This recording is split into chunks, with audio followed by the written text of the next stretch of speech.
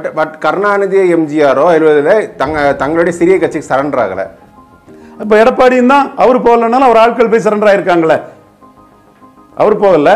அந்த இடத்துல அவர் அறுபத்தி ரெண்டு எம்எல்ஏ வச்சிருக்கிறவர் பன்னீரோட தன்னோட இமேஜை காப்பாத்துறாரு. காலேஜ் பேட் இஸ் பேட் காப்பாத்துறாரு. பட் அவரும் பத்து அவர் வந்து எனக்கு எனக்கு ஆதரவு கொடுங்கன்னு கேக்குறாரு. இவர் நான் உங்களை ஆதரிக்கிறேன்னு சொல்றாரு. அது ஸ்ட்ராட்டஜி தாங்க. அவர் வந்து பத்து பர்சன்ட் ஆதரிக்கிறாரு.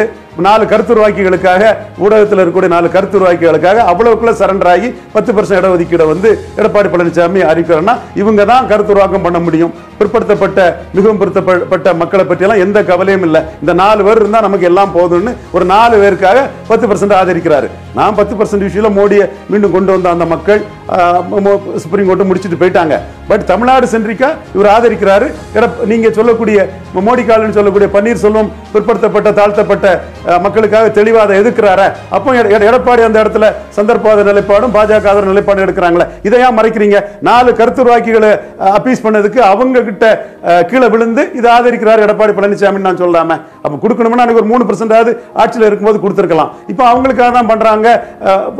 அந்த ஸ்டாண்ட் எடுக்கிறா நான் ஏன் சொல்லக்கூடாது? ஸோ ஒவ்வொரு ஸ்டாண்டும் இங்க பேசப்படும். ஒவ்வொரு ஜாதிக்க பலமும் இங்க க- இங்க வந்து கணக்கிடப்படும்.